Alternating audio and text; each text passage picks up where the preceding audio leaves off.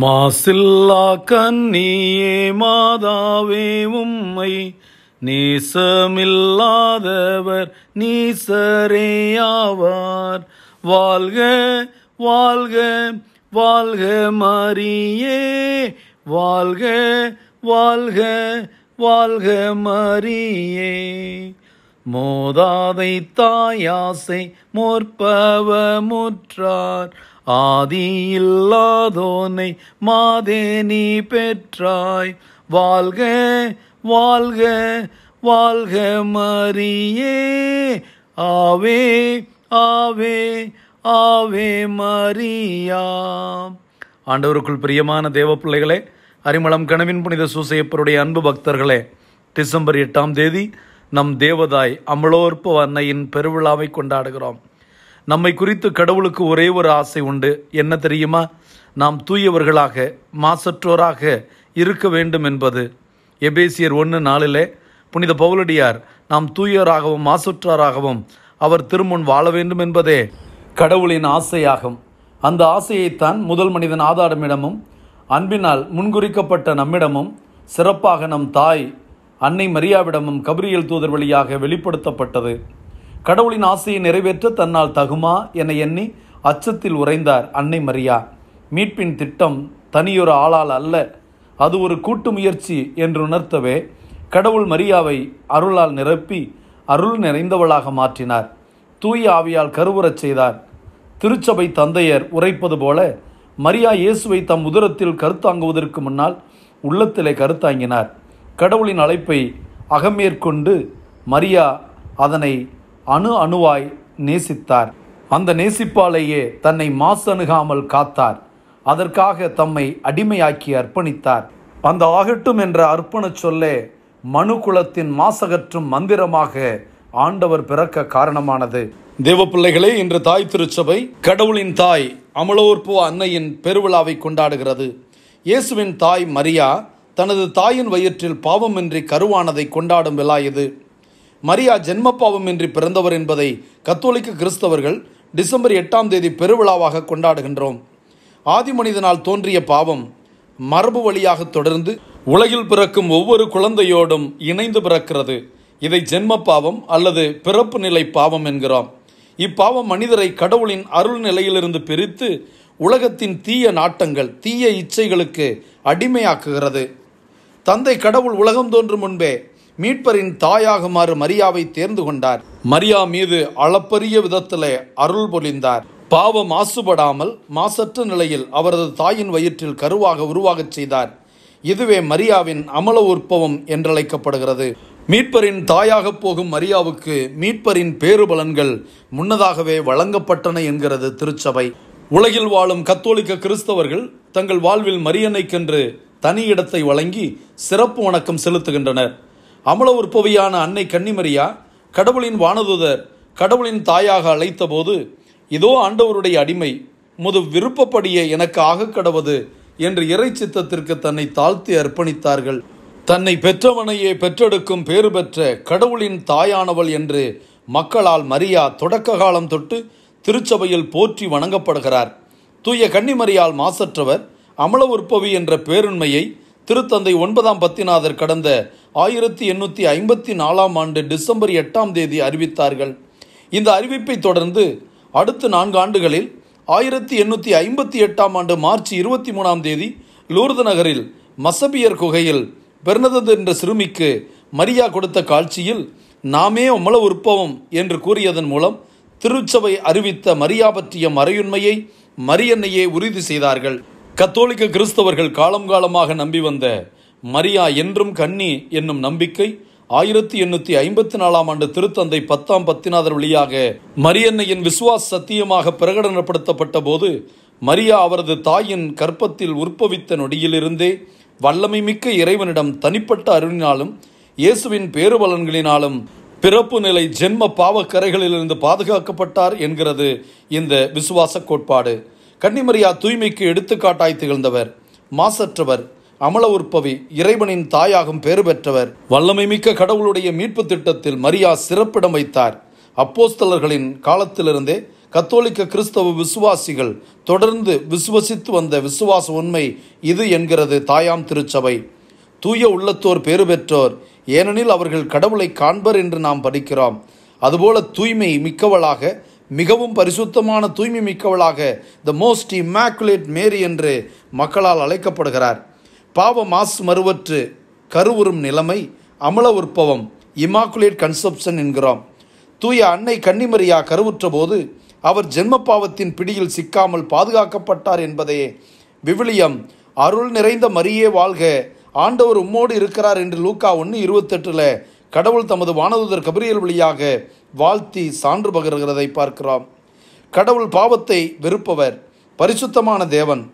தனது மகன் வாக்கு மனு உருவாகி மனு உருவெடுக்க கன்னிமரியாவை ஜென்ம பாவத்திலிருந்து பாதுகாத்தார். இதுவே கடவுளின் மீட்பு திட்டமும் கூட. கன்னிமரியால் ஜென்ம பாவத்தின் பிடியில் சிக்காத பாவக்கரை படியாத நிலையில் அமல உற்பவியாக மனுக்குலத்தை மீட்கும் இறை திட்டத்தில் ஈடுபட்டார். தந்தை கடவுள் தனது அன்பு படைப்பான மனிதனுடன் கொண்டுள்ள உறவை சீர் செய்ய கன்னிமரியாவை கருவியாகவும் பாலமாகவும் பயன்படுத்தினார். வானக தந்தையின் சிறப்புரிமை பெற்றவளாக அன்னை மரியா தேர்ந்தெடுக்கப்பட தந்தை மகன் தூய ஆவி ஆகிய மூவரு கடவுளுக்கும் முழு பங்குண்டு என்பது எனது ஆழமான விசுவாச உண்மையாகும். மனிதன் கீழ்ப்படியாமையால் பாவம் செய்தபோது இறைமனித உறவு பாதிக்கப்பட்டது. இப்படி முறிந்து போன உறவை புதுப்பிக்க புதிய ஆதாமாக கடவுளின் மகன் கன்னிமரியாவின் வயிற்றில் கருத்தரிக்க சித்தமானார். இறைவனின் மீட்பு திட்டத்தை கன்னிமரியாவும் இறைமகன் இயேசுவும் பற்றுறுதியோடு செய்து முடித்ததாக நாம் விசுவசிப்பது நமது பெரும் பாக்கியமாகும். புனித கன்னிமரியாவை போல நாம் அனைவரும் அமல உற்பவிகளாக பிறக்காவிடனும் மாசற்றவர்களாக வாழக்கூடிய ஆற்றலை திருமுழுக்கு வழியாக தூய ஆவியார் நமக்கு பொழிந்து கடவுளின் உரிமை பிள்ளைகளாக ஏற்றுக்கொள்ளப்பட்டுள்ளோம் என்பதை கலாத்தியர் நாலாவது அதிகாரம் நாலிலிருந்து ஏழு வரை புனித பவுலடியார் கூறுகிறார். நான் ஜென்ம பாவத்திலிருந்து விடுதலை பெற்றாலும் நாம் தூயராகவும் மாசுற்றராகவும் நாம் திருமுன் விளங்கும்படி உலகம் தோன்றுவதற்கு முன்பே கடவுள் நம்மை கிறிஸ்து வழியாக தேர்ந்தெடுத்தார் என்று எபேசியர் ஒன்று நாளிலே நாம் வாசிக்கிறோம். புனித பவுலடியார் இரண்டாயிரம் ஆண்டுகளுக்கு முன் வாழ்ந்த மாசில்லா கன்னி மாதாவின் வாழ்வை நமது வாழ்க்கையுடன் ஒப்பிட்டது மட்டுமல்லாமல் நாமும் அசற்றுவர்களாக வாழ முயற்சி செய்ய நம்மை தூண்டுகிறார் என்று பார்க்கிறோம். மனித பெண்ணான கன்னிமரியா வாழ்நாள் முழுவதும் கடவுள் அவருக்களித்த தூய உடலையும் உள்ளத்தையும் பாவத்திலிருந்து தன் வாழ்நாள் முழுவதும் பாதுகாத்தார். தாழ்ச்சியோடு இறைத்திட்டத்தை நிறைவேற்ற தன்னை அர்ப்பணித்தார். நாமும் கன்னிமரியாவை அருள் நிறைந்த மரியே அமல உற்பவியே என்று வாழ்த்தி வணங்குவோம். அமல உற்பவியாக அன்னை மரியா கடவுளின் இறையருளால் உயர்த்தப்பட்டு நம் ஆண்டவர் இயேசு கிறிஸ்துவின் மீட்பின் மறை நிகழ்வுகளில் பங்கு கொண்டதால் நம் அனைவருக்கும் பரிசுத்த மாதாவாக இருக்கிறார். அருள் நிறைந்தவராக அன்னை மரியாவில் நம்பிக்கை கொண்டுள்ள நாம் அனைவரும் அவரை கடவுளின் தாய் என்றும் நம் தாய் என்றும் அழைத்து புகழ்வது தகுதியானதையாகும். நாம் நம் தாயின் கருவறையில் உருவாகும் முன்னரே ஆண்டவர் இயேசுவின் மறு வருகைக்காக தயாராகுமாறு நற்செய்தி நமக்கு அழைப்பு விடுக்கிறது என்பதை அமல உற்பவ திருவிழா வழியாக கடவுள் நமக்கு உணர்த்துகிறார் என்பதை மறந்துவிடக்கூடாது. அமல உற்பவி என்னும் மறையுண்மை. இயேசுவின் தாயும் இறைவனின் தாயுமான மரியா பிறப்பு நிலை பாவத்திலிருந்து பாதுகாக்கப்பட்டார் என்னும் மறையுண்மை கிறிஸ்தவ நம்பிக்கையாக தொடர்க்க கால திருச்சபையிலிருந்து நம்பப்பட்டு ஏற்றுக்கொள்ளப்பட்டு கொண்டாடப்பட்டு வந்த மறையுண்மை என்றாலும் இந்த மறையுண்மையானது அனைத்துலகுக்கும் அதிகாரப்பூர்வமாக ஒரு விசுவாச சத்தியமாக டிசம்பர் எட்டு ஆயிரத்தி எண்ணூற்றி ஐம்பத்தி நாலாம் ஆண்டு திருத்தந்தை ஒன்பதாம் பத்திநாதரால் பிரகடனப்படுத்தப்பட்டது. இந்த மரியா மறையுண்மையை வலுவாத வரத்தோடு அதிகாரப்பூர்வமாக திருத்தந்தை அறிவிக்கையில் புனித கன்னிமரியா தம் கருவில் உருவான முதல் நொடியிலிருந்தே வல்லமைமிக்க கடவுளின் தனிப்பட்ட அருளாலும் சலுகையாலும் மனுக்குலத்தின் மீட்பராம் இயேசு கிறிஸ்துவின் பேருபலன்களை முன்னிட்டு பிறப்பு நிலை பாவக்கரை அனைத்திலிருந்தும் பாதுகாக்கப்பட்டார் என்று கூறினார். மரியா பிறப்பு நிலை பாவக்கரை அனைத்திலிருந்தும் பாதுகாக்கப்பட்டவராக பிறந்தவர் அமல உற்பவி மேரிஸ் இம்மாக்குலேட் கன்செப்ஷன் என்னும் மறையுண்மை மரியா என்றும் கன்னி வெர்ஜினிட்டி ஆஃப் மேரி மற்றும் இயேசுவின் கன்னி பிறப்பு வெர்ஜினல் பெர்த் ஆஃப் ஜீசஸ் ஆகியவற்றிலிருந்து வேறுபட்டதாகும்.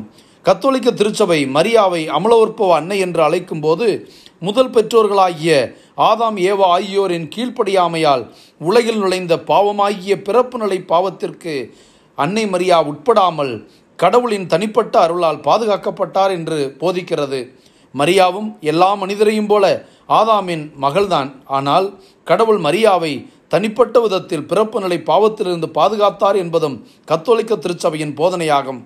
பிறப்பு நிலை பாவத்திலிருந்து பாதுகாக்கப்பட்ட மரியா பிற மனிதர்களைப் போல செயல்வழி பாவத்தின் விழவில்லை. கடவுளுக்கு எதிராக அவர் எப்போதும் செயல்படவில்லை. கடவுள் அவருக்கு தந்திருந்த சுதந்திரத்தை அவர் தயர தவறாக பயன்படுத்தவில்லை. இதற்கு கடவுளின் தனிப்பட்ட அருள் மரியாவுக்கு வழங்கப்பட்டது என்பதும் மறுக்க முடியாத உண்மையாகும். அமல உற்பவமும் இயேசுவின் கன்னிப்பிறப்பும் பற்றி பார்ப்போம். அமல உற்பவம் என்பது இயேசுவின் தாயாகிய மரியா பாவக்கரை படியாமல் பிறப்பு நிலை பாவத்திலிருந்து கடவுளின் தனி அருளால் பாதுகாக்கப்பட்டார் என்னும் மறையுண்மையாகும். மரியா என்னும் கன்னி இயேசுவை ஆண் துணையின்றி கடவுளின் வல்லமையால் கருத்தாங்கி உலகிற்கு ஈந்தார் என்பது மற்றொரு மறையுண்மை. இந்த இரண்டு மறையுண்மைகளையும் பிரித்தறியாமல் குழம்பிக் கொள்கிறவர்களும் நிறைய பேர் உண்டு. மரியாவின் பெற்றோர் சுவைக்கின் அண்ணா. இவர்கள் மரியாவை ஈன்றெடுத்த போது பிற மனிதர்களைப் போல தாம்பத்திய உறவின் வழியாகவே பெற்றார்கள். ஆனால் அண்ணாவின் உதரத்தில் கருவான மரியா கடவுளின் அருளால் பிறப்பு நிலை பாவத்திலிருந்து பாதுகாக்கப்பட்டார். இவ்வாறு மரியா கடவுளின் மகனாகிய இயேசுவை பெற்றெடுக்க கடவுளுக்கு உகந்த கருவியாக மாறினார். மரியாவை கடவுள் பிறப்பு நிலை பாவத்திலிருந்து பாதுகாத்ததற்கும் இயேசுவின் பாடுகள் சிலுவை சாவு உயிர்ப்பு வழியாக நிகழ்ந்த மீட்பே காரணமாகும். வரலாற்றில் இயேசுவை மனு உருவெடுத்து தோன்றுவதற்கு முன்னரே கடவுள் அந்த மீட்பின் பலனை மரியாவின் வாழ்வில் யதார்த்தமாக்கினார். மரியா அமல உற்பவியாக உள்ளார் என்பதை கத்தோலிக்க திருச்சபை விஸ்வா சத்தியமாக ஏற்கிறது. அமலோற்புவ அன்னையின் பெருவிழாவை டிசம்பர் எட்டாம் தேதி கத்தோலிக்க திருச்சபை உலகம் அனைத்தும் கொண்டாடி மகிழ்கிறது. இந்த டிசம்பர் எட்டாம் தேதியிலிருந்து கணக்கிட்டு மரியாவின் பிறந்த நாள் செப்டம்பர் எட்டாம் தேதி கொண்டாடப்படுகிறது. மரியா அமல உற்பவி என்பதற்கு விவிலியத்தில் ஆதாரங்கள் இருக்கிறதா என்று கேட்கிறவர்கள் இருக்கிறார்கள். மரியா பிறப்பு நிலை பாவத்திலிருந்து பாவக்கரை படியாமல் கடவுளின் தனி அருளால் பாதுகாக்கப்பட்டார் என்று எழுத்து மாறாமல் வார்த்தை மாறாமல் இந்த மறையுண்மை அப்படியே விவிலியத்தில் இல்லைதான். ஆனாலும் அந்த மறையுண்மையின் அடிப்படைகள் விவிலியத்தில் உள்ளன. இந்த விவிலிய அடிப்படைகளையும் திருச்சபையின் வரலாற்று போக்கில் கிறிஸ்தவர்களின் நம்பிக்கையையும் கருத்தில் கொண்டு இந்த விசுவாச உண்மையானது மரியாவின் அமல உற்பவத்தை ஏற்று கற்பிக்கிறது. விவிலியத்தின் தொடக்க நூலிலே மனிதகுலத்தின் மீட்பு முன்னறிவிக்கப்படுகிறது. கடவுளால் படைக்கப்பட்ட ஏவா முதல் பெண் மரியாவுக்கு முன்னடையாளமாக இருக்கிறார். கடவுள் பாம்பிடம் உனக்கும் பெண்ணுக்கும் உன் வித்துக்கும் அவள் வித்துக்கும் இடையே பகையை உண்டாக்குவோம். அவள் வித்து உன் தலையை காயப்படுத்தும். நீ அதன் குதிகாலை காயப்படுத்துவாய் என்றார். முதல் பெண் ஏவா கடவுளின் கட்டளையை மீறி பாவம் செய்தார். ஆனால் மரியா கடவுளுக்கு கீழ்ப்படிந்து தம்மை முழுமையாக அவர் கையில் ஒப்படைத்தார். இயேசு கிறிஸ்து பாவத்தின் மீது வெற்றி கொண்டது போல மரியாவும் அவருக்கு கீழ்ப்பட்ட நிலையில் அவரோடு இணைந்து கடவுளின் தனிப்பட்ட அருளால் பாவத்தை முறியடித்தார். பழைய ஏற்பாட்டில் நீதிமொழிகள் மற்றும் இனிமை மிகு பாடல் ஆகிய நூல்களில் மரியாவின் அமல உற்பம் பற்றிய குறியீடுகள் உள்ளதை திருச்சபை விளக்குகிறது. நீதிமொழிகள் எட்டாவது அதிகாரம் இருபத்தி மூணிலிருந்து இருபத்தைந்து வரை நாம் இப்படி வாசிக்கிறோம். தொடக்கத்தில் பூவுலகு உண்டாகும் முன்னே நானே முதன் முதல் நிலைநிறுத்த பெற்றேன். கடல்களே இல்லை மலைகள் நிலைநாட்டும் முன்பே குன்றுகள் உண்டாக்கப்படும் முன்னே நான் பிறந்தேன் என்று வாசிக்கின்றோம். மேலும் இனிமிகு பாடல் நாலாவது அதிகாரம் ஏழாவது வசனத்தில் என் அன்பே நீ முழுவதும் அழகே மறுவோ உன்னில் சிறிதும் இல்லதே என்று வாசிக்கின்றோம். புதிய ஏற்பாட்டில் நற்செய்தியாளர் லூக்கா மரியா கடவுளின் அருளால் நிரம்பியிருப்பதை குறிப்பிடுகையில் ஆறாம் மாதத்தில் கபிரியல் என்னும் வானதுதரை கடவுள் கலிலேயாவில் உள்ள நாசிரேத்து என்னும் ஊரில் இருந்த ஒரு கன்னிகையிடம் அனுப்பினார். அவர் தாவீது குடும்பத்தவராகிய யோசேப்பு என்னும் பெயருடைய ஒருவருக்கோ மன ஒப்பந்தமானவர். அவர் பெயர் மரியா. வானதுதர் மரியாவுக்கு தோன்றி அருள் நிறைந்தவளே வாழ்க ஆண்டவர் மோடி இருக்கிறார் என்றார். லுக்கா ஒன்றாவது அதிகாரம் இருபத்தி ஆறிலிருந்து இருபத்தெட்டு வரை உள்ள வசனங்களில் இப்படி படிக்கிறோம் இரண்டாம் வத்திக்கான் சங்கம் அமல உற்பவி அன்னை மரியா என்ற மறையுண்மைக்கு ஆதாரம் கொடுக்கிறது. ஆயிரத்தி தொள்ளாயிரத்தி அறுபத்தி ரெண்டு முதல் அறுபத்தி ஐந்து வரை நடந்த வரலாற்று சிறப்புமிக்க இரண்டாம் வத்திக்கான் சங்கம் மரியா அமல உற்பவியாக போற்றப்படுவதை திருச்சபையன் ஐம்பத்தி ஆறில் குறிப்பிடுகிறது. ஒரு பெண்ணால் சாவு வந்தது போல மற்றொரு பெண்ணால் வாழ்வும் வர வேண்டும் என்பதற்காக கிறிஸ்து மனிதராவதற்கு முன்பே அவருடைய தாயாக முன்னியமைக்கப்பட்டவரின் நிறைவு பெற வேண்டும் என்று இரக்கம் நிறைந்த தந்தை ஆவல் கொண்டார். அனைத்திற்கும் புத்துயிர் அளிக்கும் வாழ்வானவரையே உலகிற்கு எந்தவரும் இத்தகைய மாபெரும் நிலைக்குரிய கொடைகளால் கடவுளால் அணி செய்யப்பட்டவருமான இயேசுவின் அன்னையிடத்தில் இந்த ஆவல் சிறந்த முறையில் நிறைவேறுகிறது. எனவே இறை அன்னை முற்றிலும் தூயவர் பாவக்கரை ஏதுமில்லாதவர் தூய ஆவியால் புதுப்படைப்பாக உருவாக்கப் பெற்றவர் என்று அவரை அழைக்கும் வழக்கம் திருத்தந்தையரிடத்தில் நிலவி இருந்ததில் வியப்பேதுமில்லை கருவான முதல் நொடியிலிருந்தே தனிச்சிறப்பான தூய்மையின் மாட்சியால் அணி செய்யப்பட்டிருந்த நாசரேத்தூர் கண்ணியை கடவுளின் ஆணையால் தூது சொல்ல வந்த வானதுதர் அருள் நிறைந்த மரியே வாழ்க என்று வாழ்த்துகிறார். இக்கன்னியும் நான் ஆண்டவரின் அடிமை உமது சொல்படியே எனக்கு நிகழட்டும் என்று மறுமொழி கூறுகிறார். இவ்வாறு ஆதாமின் மகளான மரியா கடவுளின் வாக்குக்கு இசைவளித்ததால் இயேசுவின் தாயானார். பாவத்தடையின்றி தம் முழு இதயத்தோடும் கடவுளின் மீட்பு திட்டத்தை ஏற்று தம் மகனுக்கு அவரின் அலுவலுக்கும் தம்மையே ஆண்டவரின் அடிமையாக முழுமையாக முற்றிலும் கையளித்தார். இவ்வாறு அவருக்கு கீழும் அவருடனும் எல்லாம் வல்ல கடவுளின் அருளால் மீட்பு திட்டத்தில் மணியா பணிபுரிந்தார் என்று இரண்டாம் வத்திகான் சங்கம் திருச்சபை கொள்கை திரட்டு எண் ஐம்பத்தி ஆறில் வாசிக்கின்றோம். அன்னை மரியா தந்த பல காட்சிகளில் இரண்டு காட்சிகளில் அன்னை மரியா தன்னையே அமலோர்ப்பு அன்னையாக வணங்குவதை உறுதிப்படுத்துவதை பார்க்கிறோம். முதல் காட்சி ஆயிரத்தி எண்ணூற்றி முப்பது நவம்பர் இருபத்தி ஏழாம் தேதி அன்னை மரியா புனித கேத்தரின் லாபரே என்பவருக்கு காட்சியளித்தார் அப்போது அன்னை மரியாவை சுற்றி முட்டை வடிவில் தோன்றிய ஒளிவட்டத்தில் ஓ பாவமின்றி உற்பவித்த மரியே உம்மை அண்டி வரும் எங்களுக்காக வேண்டிக் கொள்ளும் என்ற வசனம் காணப்பட்டதை குறிப்பிடுகிறார்கள். இரண்டாவது காட்சி ஆயிரத்தி எண்ணூற்றி ஐம்பத்தி எட்டாம் ஆண்டு மரியா அமலோற்போ அன்னையாக இருக்கிறார் என்ற விசுவாசத்தியம் அறிவிக்கப்பட்ட நான்காம் ஆண்டில் லூர்து நகரின் மசபியர் என்னும் குகையில் பெர்னதத்து சுரூபி என்பவருக்கு மரியா லூர்து அன்னையாக காட்சியளித்தார். அப்போது மரியா நாமே அமல உற்பவம் என்று கூறியதையும் அந்த காட்சியிலே நாம் பார்க்கிறோம். எனக்கு பிரியமான தேவ பிள்ளைகளே அன்னை மரியாவின் அமல உற்பவ திருநாளை கொண்டாடுகிறோம். இந்த நாளில் இமாக்குலேட் மேரி அமல உற்பவம் அமலோற்போ மேரி என்ற பெயர்களையெல்லாம் கொண்டிருக்கிற அமலோற்போம் என்ற பெயர்களை கொண்டிருக்கிற ஆண்களையும் இந்த நாளிலே நாம் நாம விழா வாழ்த்துக்களை சொல்லி அந்த அன்னையினுடைய பரிசுத்தம் அந்த அன்னையினுடைய தூய்மை அந்த அன்னையினுடைய கடவுளுக்கு பிரியமான தூயவளாக வாழுகின்ற வாஞ்சை நம்மையும் பற்றி கொள்ளட்டும். நம்மிடம் இருக்கிற அசுத்தம் நம்மிடம் இருக்கிற அசூசியங்கள் நம்மிடம் இருக்கிற வேண்டாத பாவ உணர்வுகள் எல்லாம் நம்மிடமிருந்து நீங்கி அன்னைமரியாளைப் போல நாம் அமல உற்பவிகளாக அமல உற்பவர்களாக பிறக்கவில்லை என்றாலும் திருமுழுக்கின் வழியாக முற்றிலும் பாவத்திலிருந்து கழுவப்பட்ட நாம் செயல்வழி நமக்கு வருகின்ற எல்லா பாவத்திலிருந்தும் விடுபட நாம் ஆண்டவருடைய அருளை பெற்றிருக்கிறோம். ஆண்டவர் நமக்கு தந்திருக்கிற அருளை வீணடிக்க வேண்டாம் என்று பவுலடியார் சொல்வதை கேட்டு ஆண்டவருடைய அருளை முழுமையாக பயன்படுத்தி பாவத்தில் விழாமல் பாவத்தின் கரைபடியாமல் மாசற்ற கன்னியாக அமல உற்பவியாக பரிசுத்த தாயாக இருக்கும் நம் அன்னை மரியாவிடம் தூய்மை என்ற புண்ணியத்திற்காக ஜெபிப்பாம். கனவின் புனித சூசையப்பரும் அன்னை மரியா மாசற்ற கன்னி அமல உற்பவத்தாய் நமக்கும் அந்த தூய்மையில் இடமளித்து ஆண்டவரை காணும் பாக்கியத்தை அளித்து ஆசிர்வதிப்பாராக. தேவ பிள்ளைகளே அன்னை மரியாளிடமும் கனவின் புனித சூசையப்பரிடமும் உருக்கமாக ஜெபித்த நமக்கு ஆண்டவர் பதில் கொடுத்திருக்கிறார். அரிமளம் புதிய ஆலயத்திற்கான என்ஓசி நோ அப்ஜெக்ஷன் சர்டிபிகேட் நமக்கு கிடைத்து விட்டது விரைவிலே நாம் கட்டுமான உரிமத்தையும் பெற்று விரைவில் புதிய ஆலயத்தை தொடங்கப் போகிறோம். ஆண்டவர் நம்மோடு இருக்கிறார். அவர் நமக்கு அருள் புரிவார். ஆண்டவருடைய அருளை மட்டுமே நம்பி இந்த திருத்தலம் இருக்கிறது. இந்த திருத்தலத்தின் புதிய ஆலயமும் நடக்கப் போகிறது. உங்களுடைய ஜெபத்தையும் உங்களுடைய ஆழமான உதவியையும் நீங்கள் கொஞ்சம் கொஞ்சமாக செய்தாலும் ஒரு செங்கல் வாங்கி கொடுக்கிற அளவிற்கு உதவி செய்தாலும் ஆண்டவரால் அது நினைவு கூறப்படும் என்பதை உணர்ந்து ஜெபத்தாலும் உங்களுடைய உதவியாலும் அரிமளம் திருத்தலத்தின் புதிய ஆலயத்தை தாங்கி பிடிக்க உங்களை அன்போடு கேட்டுக்கொள்கிறேன். ஆண்டவர் உங்களை அபரிவிதமாக ஆசிர்வதிப்பாராக. அமேன் அமேன் அமேன்